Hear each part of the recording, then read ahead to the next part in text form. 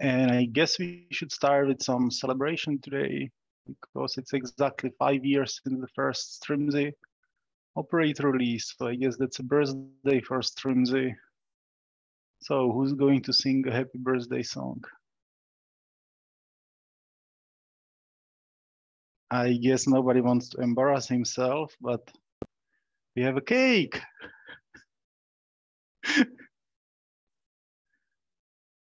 so happy birthday. That's great. I didn't Now I have notice to that. clean- Now I have to clean it up so that I don't set my flat on fire. How long did you have it? Did you have that fire on?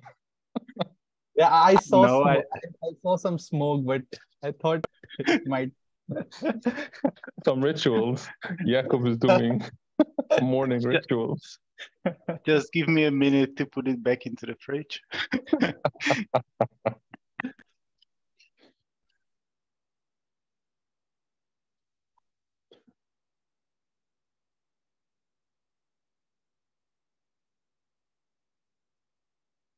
Have you been there since the beginning, Paolo? Sorry, Ahmed. Have you been there since the beginning? Y- yes, yes. I was one of the the, the people injecting this pro this uh, this project. Yeah. So, so you, Jakub, and Tom. Yes, exactly. Yes, all together. Nice.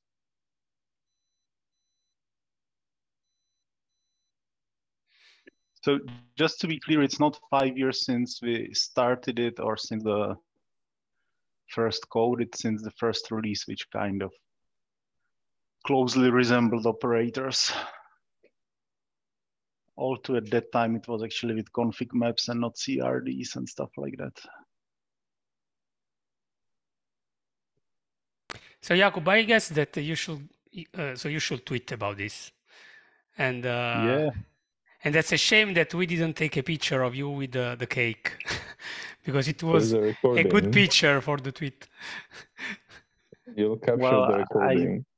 Probably don't want to have my picture tweeted anywhere. So Or can you can you just take a picture of the cake with the the five on to, on the top and then you can use that picture for the tweet. you think I didn't already plan for that? Okay, okay. No, I am scared that that you have already eaten the cake in the in the last uh, two minutes. uh, yeah. Okay, I guess we should get back to the normal agenda. Uh, can you see the screen? Right, so the first thing on the agenda is questions and issues. Does anyone have anything what's not on the agenda they want to discuss?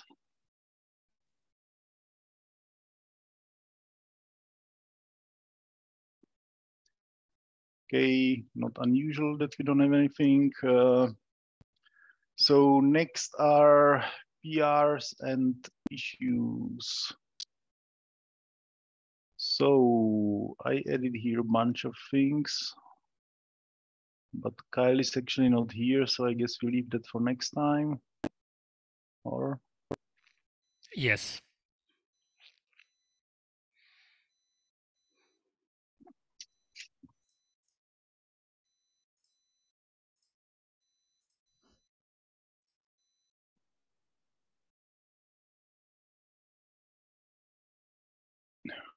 Okay, this one. So what about this one, Paolo? The evergreen of the 2023 year. Yeah, I I thought that I approved this one, so I'm going to approve to be honest, uh, so that we can even try this pipeline for the next bridge release and see if it will really save some time.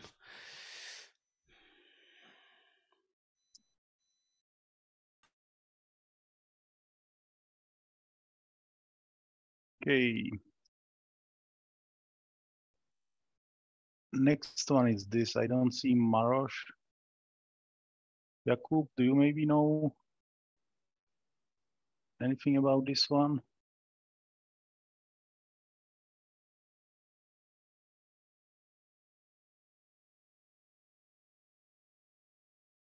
Okay, I guess Jakub is not with us. Okay, let's leave a comment from Maroš here. Or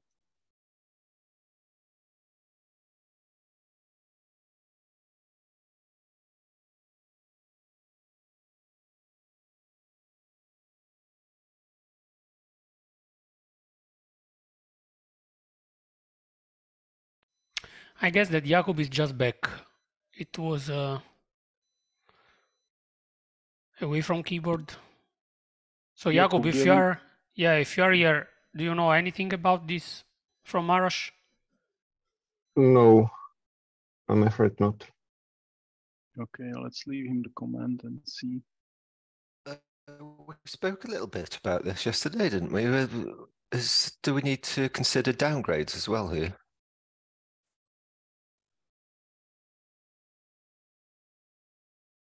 I don't know. Feel free to comment about it on the PR, I guess. I actually it might have some downgrade as well in the code.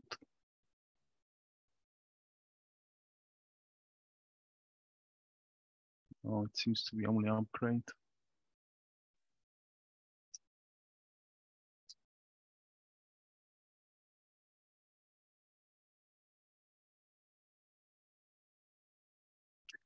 Okay, next one. Shubham, what about this one? Can you get the snake YAML away from it and do at least the Vert.x update? Uh, I, I, I- didn't do the, uh, like, I saw the comment from Paolo that, uh, that, that we are not getting the four point three point eight version of Vert.x productized, so do we need it or, Yeah, but we should still update in the community, I guess. okay, okay, I'll do it. And I think on the bridge, Paul updated Netty as well, so maybe we should bump Netty here as well. Okay. I'll do it.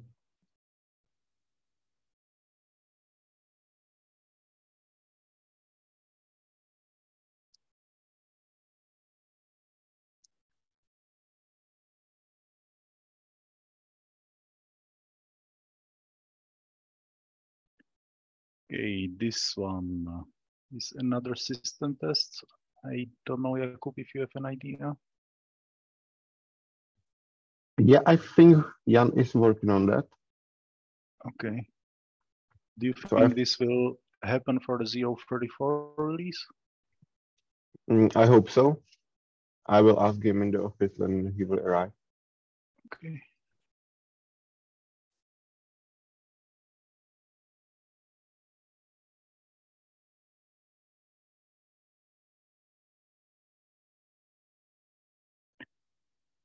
And then we have the client examples in Python thing.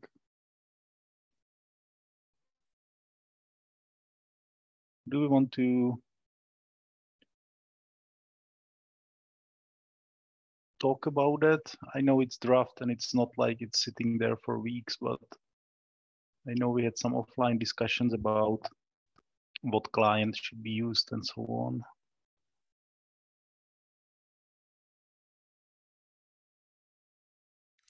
Should we have uh, Owen on the call to talk about this?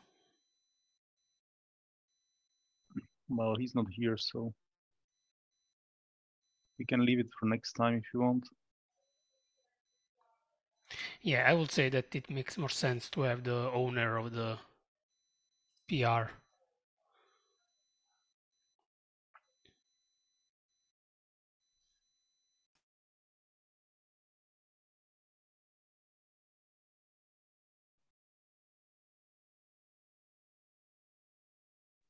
I think one thing Jakub mentioned uh, the other day was um, um, what we want the examples to be. Uh, so, so I think yeah, we should discuss the PR with Owen, but I wonder if um, uh, we should also agree on what yeah what the example should be, so uh, this can direct Owen where to bring this. I think one point of Jakub was like uh, um, demonstrating how to set up uh, authentication, in, uh, SSL, and things like that, uh, or how to do uh, error handling. So, so if we think those are like characteristic we want to demonstrate in the example, I think we should make it clear or put this somewhere so so that people interested in in working on the examples know what to what to focus on.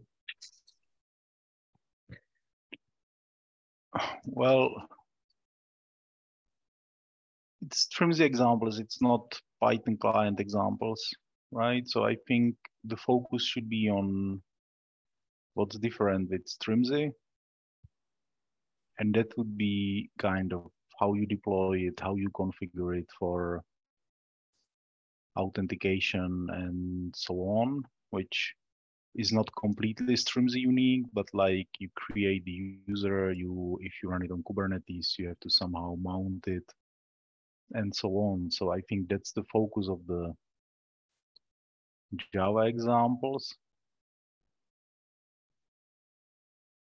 But it sounds like this part of creating the user and, and, deploying it should be common to all examples, and then the client, all the client has to do to set up the uh, authentication. Sorry, not I, I didn't hear it properly.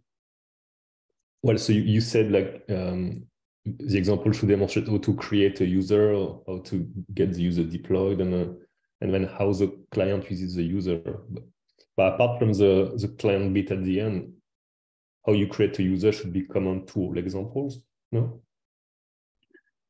So yes, it is common to all examples, but it's not necessarily like we rely on the user operator, right? So like for all the Java examples, you have essentially the Kafka user YAML, and uh, you have like single YAML how you can deploy the example and that basically contains like the Kafka topic uh, for creating the topic, the Kafka user for creating the user, and then it has the deployment with the example client, which use the user.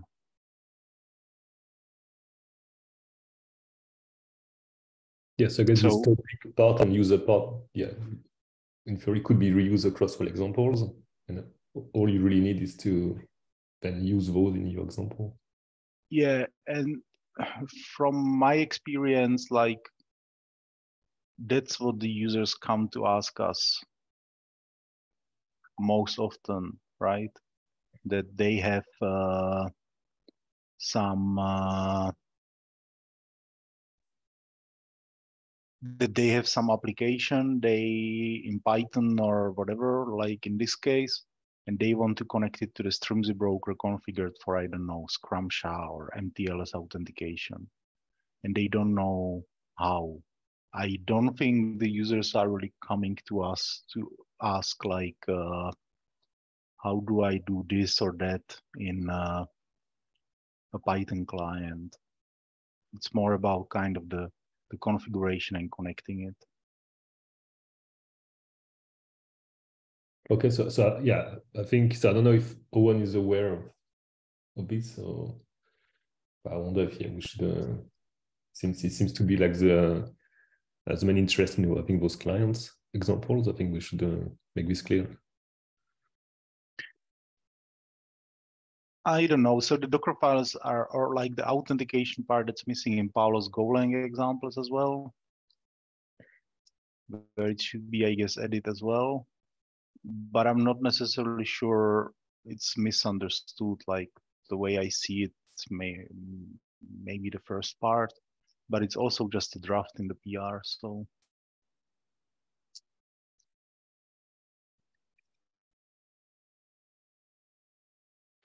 Because you were mentioning that uh, I have no plan right now to come back to the Go examples to improve them. So I don't know if you want to stick with them or we want to delete them and maybe in the future someone can work and add them. I don't know what's the what's the value of the examples as we yeah, have as them you right said, now for Go. Like, yeah, it's just showing how to use the Sarama library. Does Sarama have no examples?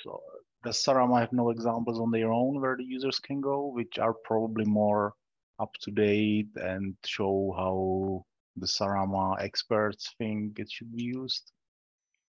Yeah, I think so. They have this example. Maybe having uh, something in Strimzi could help people to, to not jump around to different repos and projects. So you, they go to Strimzi.org, they deploy Strimzi, and then they found that we have these Strimzi examples and they can start from there. But I, I, I see your point that that should be about Strimzi, not about using Sarama client.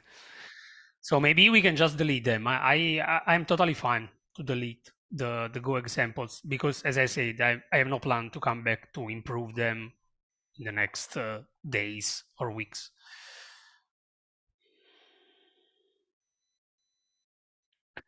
Well, maybe Owen might get to them then after he's finished with Python. Yeah, we can create a ticket. This may be a good starter. Yeah. Python.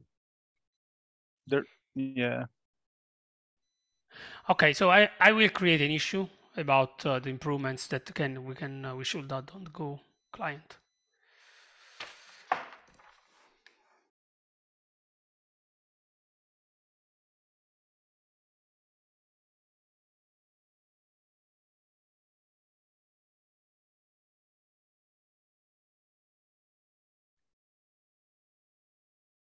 Okay.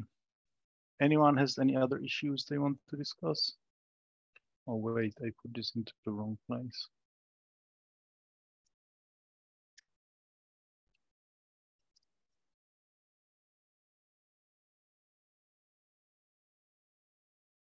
So Marco is not here, but I guess we can ask him this old issue what the plan is.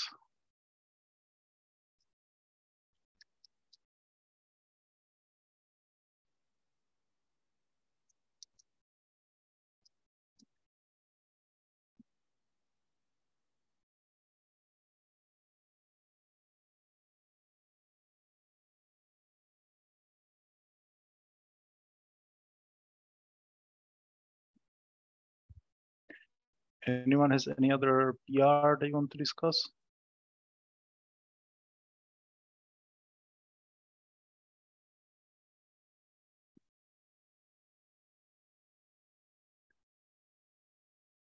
If not, anyone has any proposals they want to discuss? I don't think there were any new proposals or any changes to the existing proposals. I guess Shubham's proposal for the blocking the scale down was merged, but the main thing there, I guess.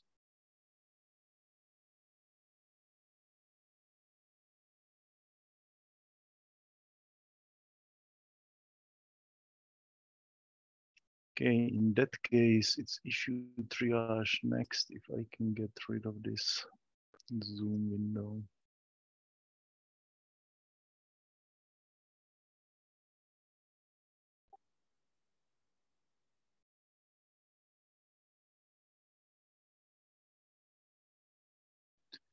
So last time we said that we will think a bit more about this.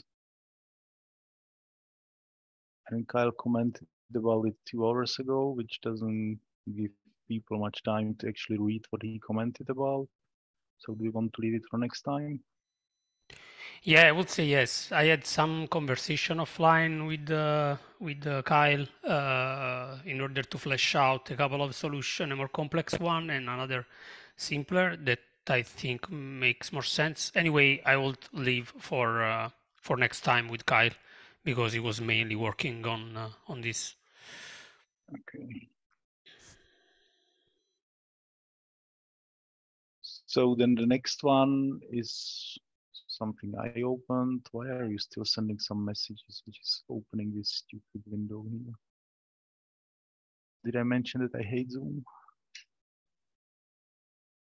So this is like today we have the Kafka Connect assembly operator in the code and Kafka Mirror Maker 2 assembly operator.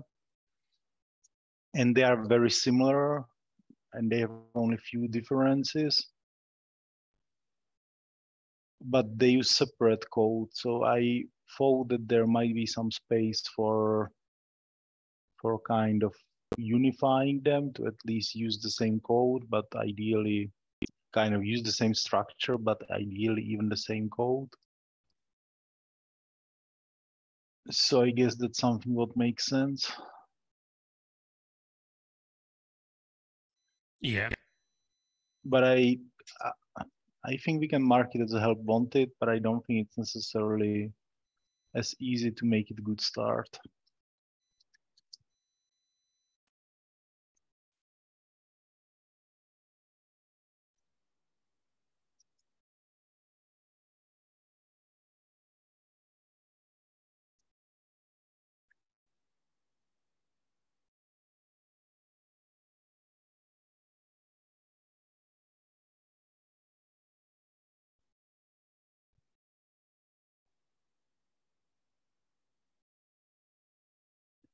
Okay, next one is similar. So I think we should use a bit more, try to use a bit more informers that should save some calls to the Kafka, uh, to the Kubernetes APIs and uh, should help us to get the data faster in some places. But I think there are some challenges like what labels to the informers target so that we don't watch, for example, all million secrets in the cluster or all million pods in the cluster and uh, so on. And we would need to also think a bit through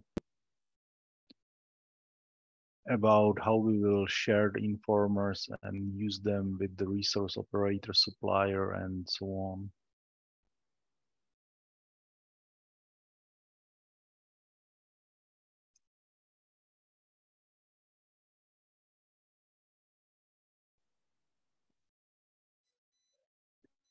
I think that it makes sense to do this way, even because, uh, yeah, for people starting a new operator using the Java SDK, which is what was not in place when we started Strimzi, yeah, using the informers is kind of uh, the way to to go quite often. So So should this need a proposal? I think like this should be properly thought through. So maybe proposal is a good idea. yeah,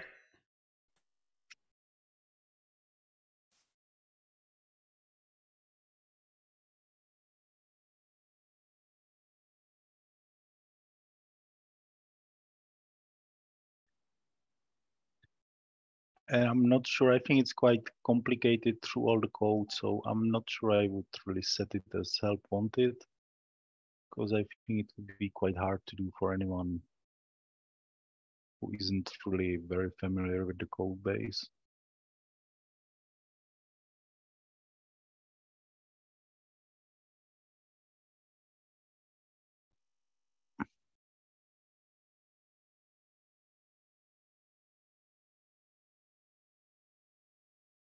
Okay, the next one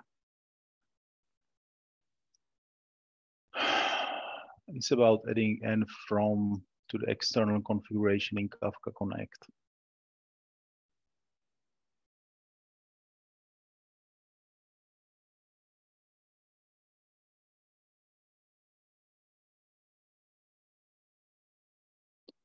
I don't know how people feel about it. It seems to me like yet another thing we will have to test and maintain. Where the only value is that you replace 10 lines of YAML with five lines of YAML or something like that.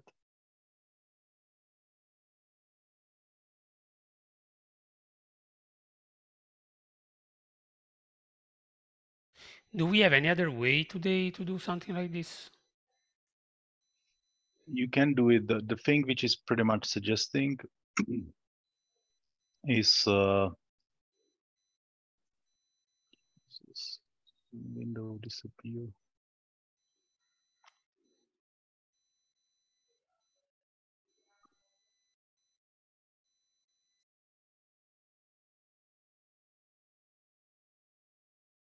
So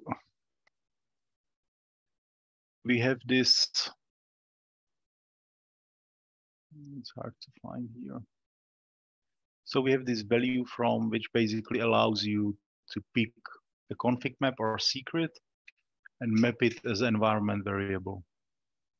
And what this thing proposed here does is uh, that it actually allows you to pick uh, multiple of them at once. So it basically saves some some lines in the in the YAML. But I my understanding from the issue is that it doesn't do anything really new apart from that. We can also try to ask again because the user didn't really come back when I asked about it. Yeah, maybe. So I, I, I don't see, to be honest, any so additional value on this. Maybe we can ask uh, uh, to the user what's wrong or what does he find something I don't know wrong with the current way that uh, we we already have.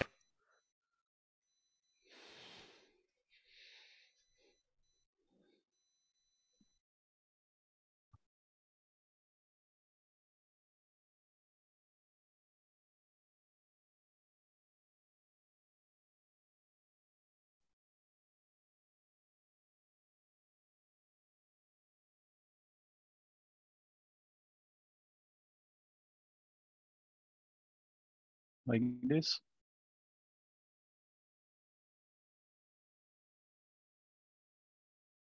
Yes.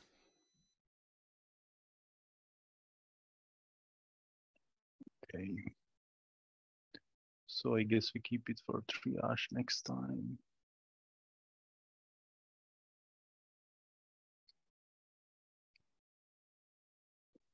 Next one, we have a bug. If I manage to get to it.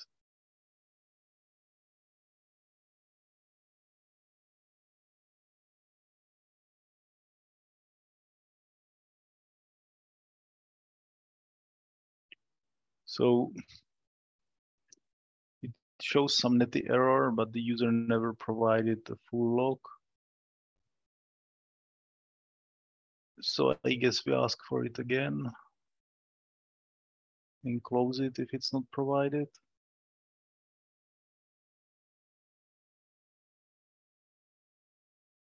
Or Yep.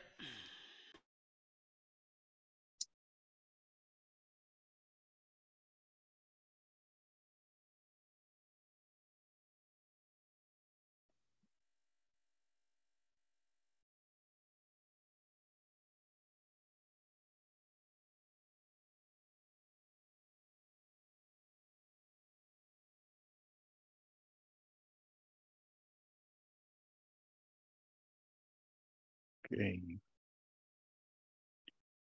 Next one. So this one is interesting. So today we basically set up the network policies only where needed, which is where the cluster operator or other component is connecting. And where we do that, we set them up to open the Prometheus metrics for everyone. But where we don't need to create any other any network policies for some other reason, like for the entity operator or for the Kafka exporter, because we don't connect there directly, there we actually don't set up any network policies. So if you have networking with disabled access by default. It's a bit weird because when you deploy the cluster, then uh, like you will be able to access the metrics of Kafka or cruise control out of the box, but you will actually not be able to access the metrics of Kafka exporter or entity operator out of the box because the network policies are missing. So the proposal was to create network policies for for these components as well so that we are a bit more consistent and it's a bit more kind of predictable and less confusing for the user.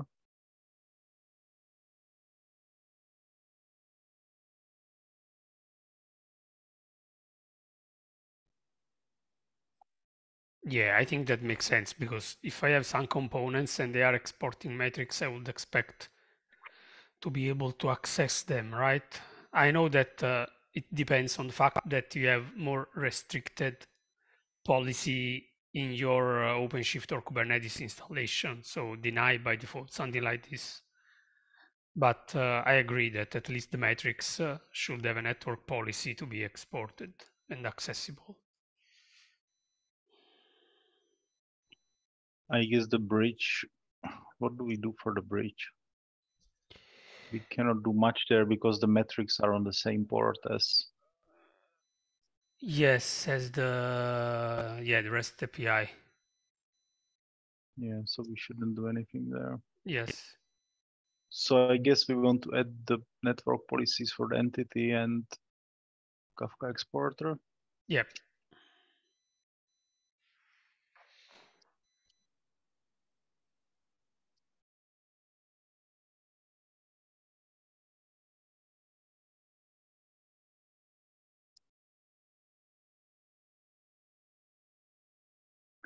Do you think that could be a good start issue? Well, I I I, I think so because uh, yeah, it should not. Yeah, it should not be so difficult to be honest. Even taking a look at how the other network policies are created.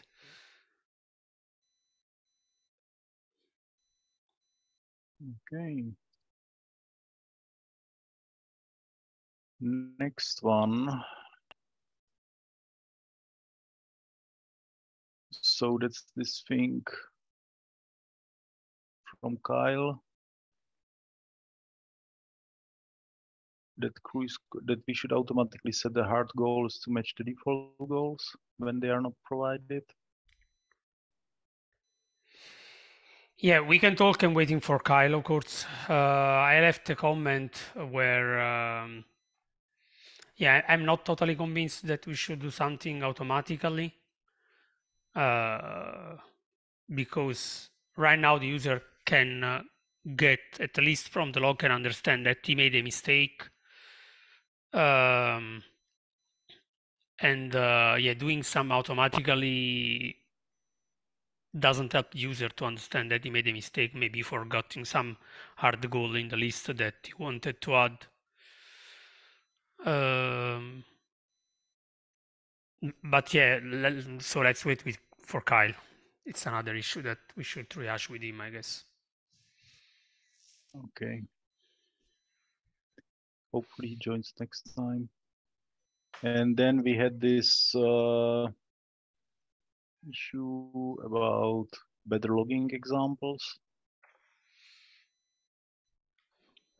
Which is actually, I guess, for documentation, not for examples.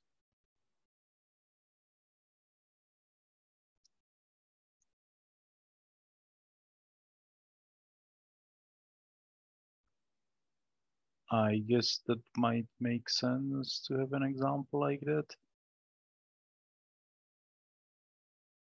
Also, I think you can Google it very easily. But I guess it wouldn't hurt to have it in, in the docs. Sorry, sorry, I was away from the keyboard for a minute. Is there something related to documentation here then? Yeah, there's this issue about uh, uh, logging examples in the docs. Okay.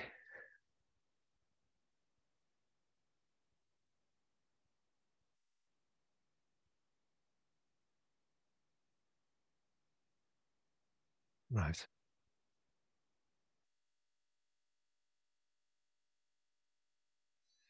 Yeah, I think it makes sense.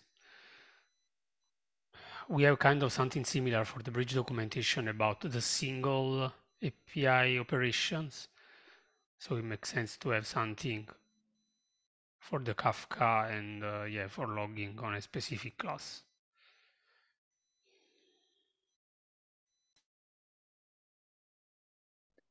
Okay, What labels do we want to set on that? Do we want to leave it for some user or?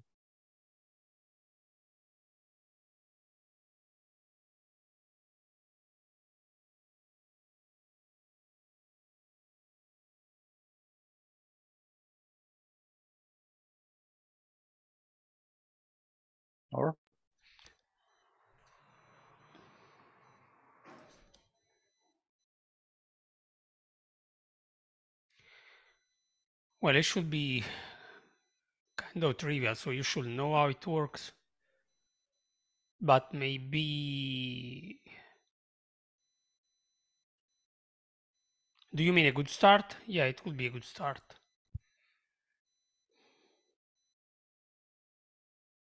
Like this? Yep. Okay.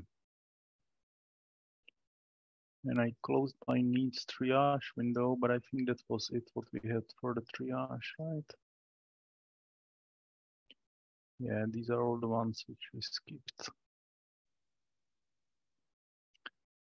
So next point on agenda, or does anyone have any other issue they want to triage? I don't think so.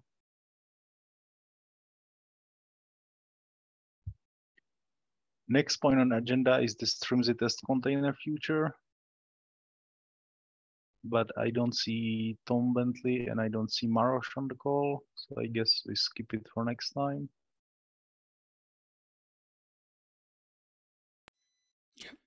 yep.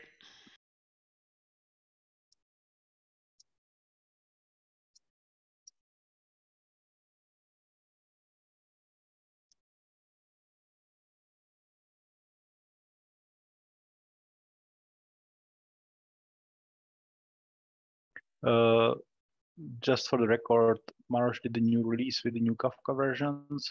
Uh, so at least that's now available.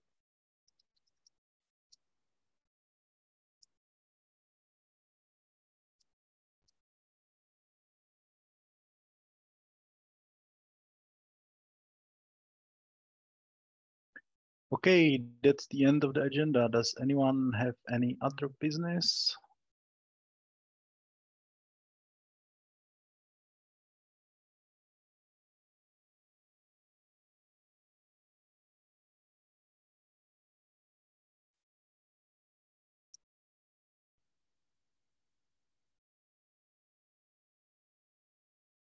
In that case, I guess that's it for today. So thanks a lot for joining and see you again in two weeks. Thank you, everyone. Thank you. Thanks very Bye. much. Bye all.